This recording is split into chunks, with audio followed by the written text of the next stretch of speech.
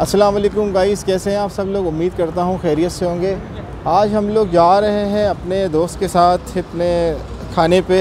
हमने सोचा एक हमें पार्टी की जाए तो आपके साथ शेयर करेंगे खाने वगैरह की वीडियो।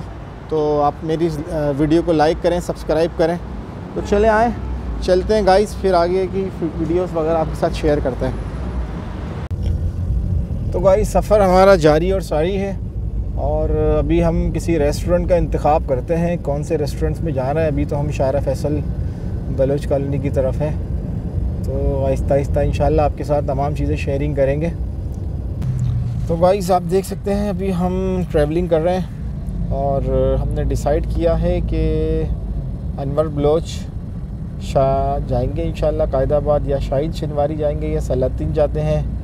तो इनमें से ही कोई एक अच्छा रेस्टोरेंट सिलेक्ट करते हैं।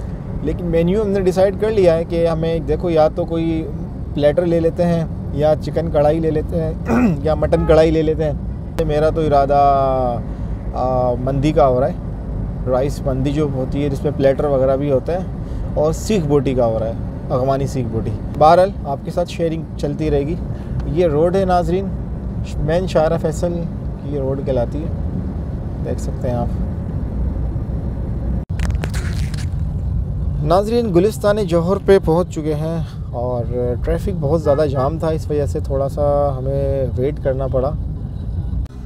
तो गाइस हम बस पहुँच गए हैं और अभी आपको रेस्टोरेंट्स में लेके जाते हैं और आपके साथ वीडियो शेयर करते हैं। तो चले आए, चलते हैं बाहर लेट सी तो गाइस हम पहुँच गए हैं गुलिस्तान जौहर और आगे भी मंजिल की जानी, चलते हैं।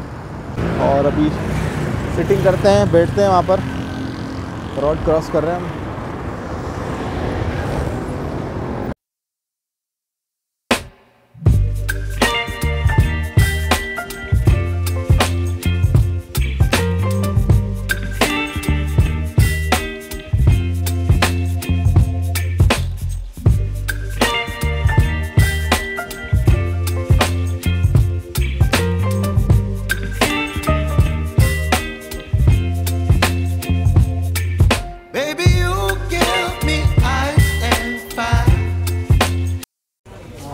लोकेशन बता दें रेस्टोरेंट की लोकेशन आपके पास आ सके। जी लोकेशन हमारी अलविगा रेस्टोरेंट है नाम अलविगा है।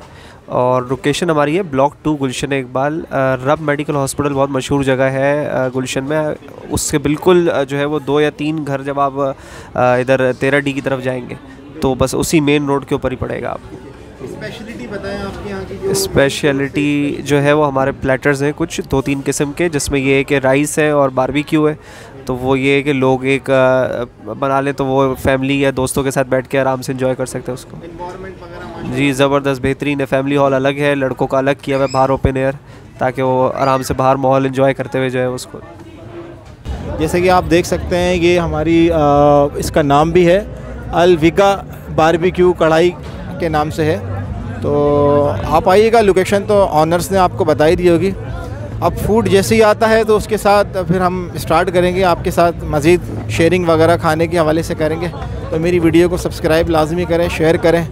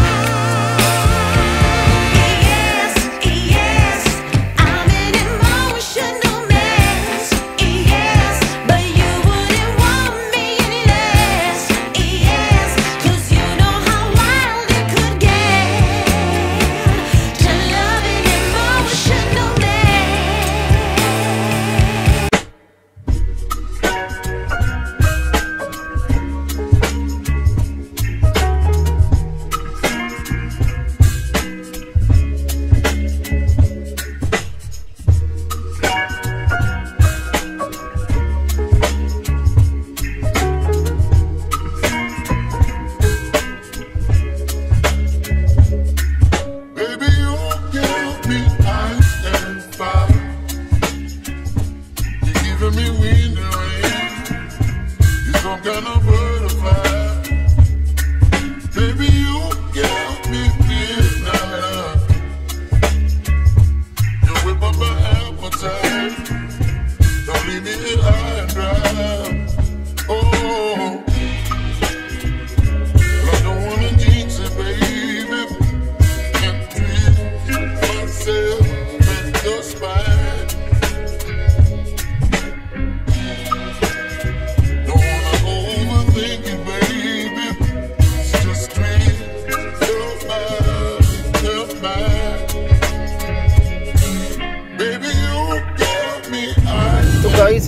ओवरऑल अगर मैं आपको अपना रिव्यू बताऊँ आज का तो अच्छा रहा काफ़ी।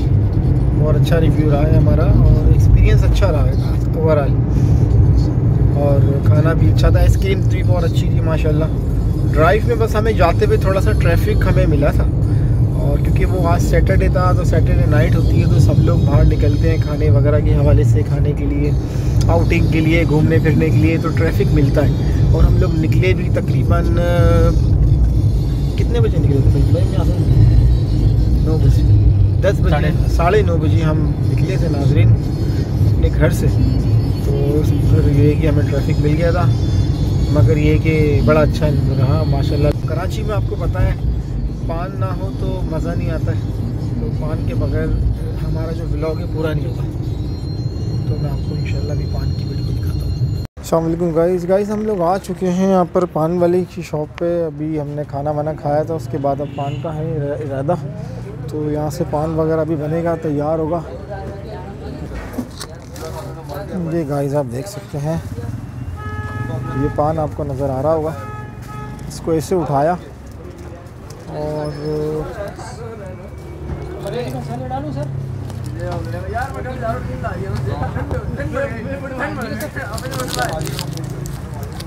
गाइस इनका पान हमने खा लिया।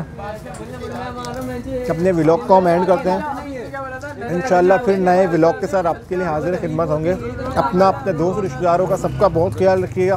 फिर नहीं किसी व्लॉग के साथ आपके लिए हाजिर खिदमत होंगे। मेरी वीडियो को सब्सक्राइब कीजिए और आगे ग्रुप में शेयर कीजिए। थैंक यू सो मच अल्लाह हाफिज़।